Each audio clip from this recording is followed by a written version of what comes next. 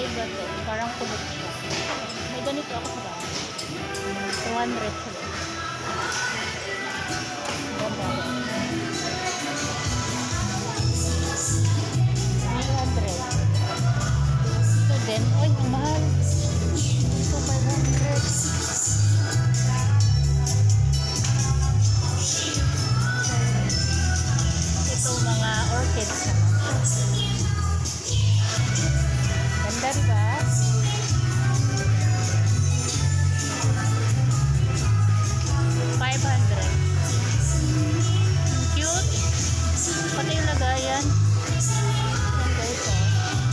Same doon sa kabila.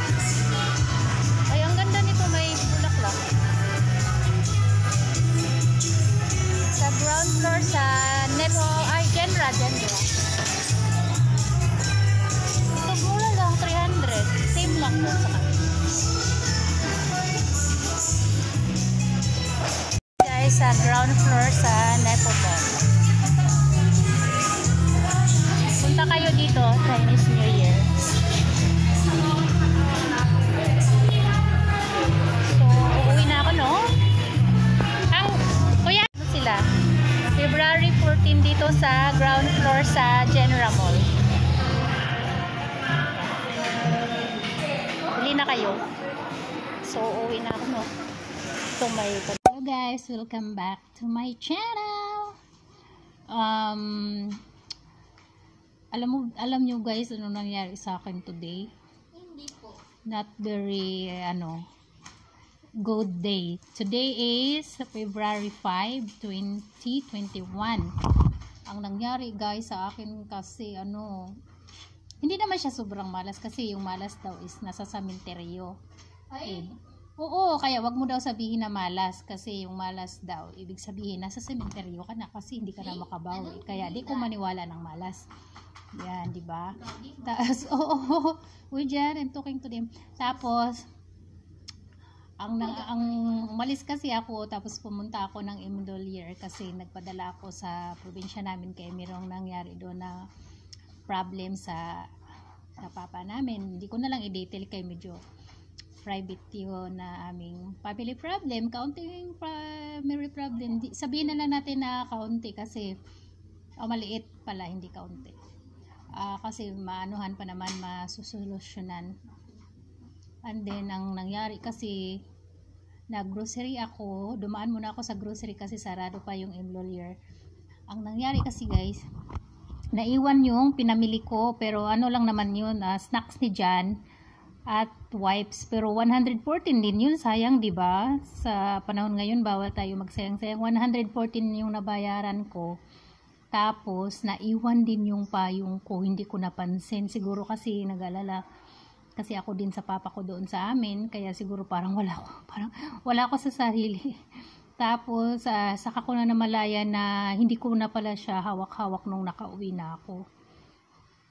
Tapos, nung doon ako sa sa mall, ang nangyari, napagalitan ako ng guard napagalitan ako ng guard guys kasi ano nag-video-video ako doon akala niya binibideo ko yung inside sa mall sabi ko as you can see susunod ko ah, yung unang video is yung sa Chinese ay sa ano to, oh, Chinese New Year kasi may mga decoration doon na, na binidyo ko yung mga tanim doon. Pero after ko doon mag-video pumunta pa kasi ako doon sa may hagdan kay merong malaking ay meron silang decoration doon ya ano yun nak? Tiger ti- hindi siya tiger?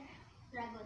Oo, dragon yon dragon. Sabi ko, hindi ko naman binidyo yung mall, yung sa ang dragon decoration naman siya. What for? Pero siyempre, hindi ko sinabi na nag-vlog-vlog ako, ba? Hindi ko sinabi yun. Sabi ko, ah, sige, hindi na, ah, kung bakit doon kuya pwede naman, siya pwede lang doon daw. Basta napahi, medyo napahiya din ako konti, pero okay lang din yun. Tapos, pum, dumaan ako ng Jollibee. Ang nangyari naman sa Jollibee, ah hin- hindi ko nakain yung peach mango pie na in-order ko. Kasi luma din yung binigay sa akin. Feeling ko ano pa yun. Kahapon tapos binibenta pa rin nila. Totoo din naman, di naman ako mareklamo kung kaya kong kainin. Pero ano na kasi, yung parang ang dami ng mantika. Tapos iba na yung lasa kaysa presko na bago talagang luto. So, inhale exhale lang tayo guys kahit ganun ang nangyari sa akin today doon pa rin tayo sa positive side kaya i-share ko lang sa inyo na kahit parang ano nainis na inis ako na parang ano ba yan? Ang nangyari sa araw na to? Ganyan ganyan parang malas naman ganyan ganyan. Isip ko na lang ang malas ay nasa sementeryo kaya. Eh? oo totoo nga ayan. Sabi ng mama ko wag sabihin nga malas kasi yung malas daw nasa sementeryo so share ko lang yun lang share ko lang sa inyo guys. So wag ta, ah, doon na lang tayo lagi sa positive side para hindi tayo malugmok sa malugmok? What a word malugmok hindi na lang tayo doon lang tayo sa positive side para hindi tayo magiging ano ba yan parang ang ano ko naman doon na lang tayo sa magandang nangyari na okay pa rin naman di ba? So that it's for today's that it's tingnan nyo that's it for today's video guys. Thank you go thank you so much for watching. See you to the next ones bye. Be positive lang. Salamat sa nanonood. Na umabot ngayon. Salamat salamat salamat. Na umabot sa end ng video na ito